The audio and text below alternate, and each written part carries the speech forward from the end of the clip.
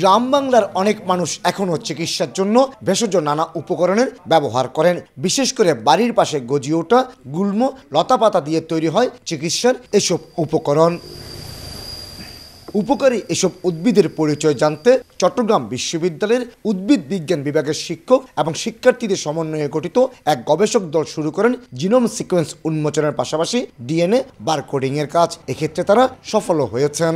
যদি আমরা DNA barcode দিয়ে স্ক্যান করি এবং ওই উদ্ভিদের স্যাম্পলটা আমাদের আগে থেকেই সিকোয়েন্স করে আমরা ডাটাবেজে জমা রাখি, তাহলে খুব সহজে স্ক্যান করলেই আমরা বলে দিতে পারব যে এটা আসলেই ওই প্রজাতি কিনা না এটার সাথে অন্যান্য প্রজাতি মিশ্রণ আছে। এখানে একটা অপার সম্ভাবনা রয়ে গেছে যেখান থেকে আমরা বিভিন্ন রোগের জন্য একটা নিরাপদ ওষুধ আমরা এখান থেকে হয়তো নিয়ে আসতে পারব। মূলত চট্টগ্রামের ফটিকছড়ির হাজারিখিল অভয়ারণ্য চন্দনাইশ ধোপাচড়ি বন্যপ্রাণী অভয়ারণ্য এবং বান্দরবনে বিভিন্ন উপজেলা থেকে সংগ্রহ করা হয় এসব উদ্ভিদ এই গবেষণার মাধ্যমে বিলুপ্ত হতে যাওয়া জাতগুলোকে রক্ষা করা যাবে। আমরা প্রাথমিকভাবে আমাদের দেশের উনিশটি ভেষজ উদ্ভিদের একচল্লিশটি বারকোডিং সম্পন্ন করেছি যার ফলে ভেষজ উদ্ভিদের রপ্তানির দ্বার উন্মোচন হবে বলে আমরা আশাবাদী। ধীরে ধীরে বাংলাদেশের সকল বেশিরভাগ উদ্ভিদের ডিএনএ বারকোডিং করার জন্য আমরা আশাবাদী।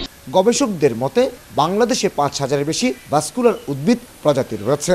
এর মধ্যে ওষুধি উদ্ভিদ রয়েছে প্রায় দেড় হাজার।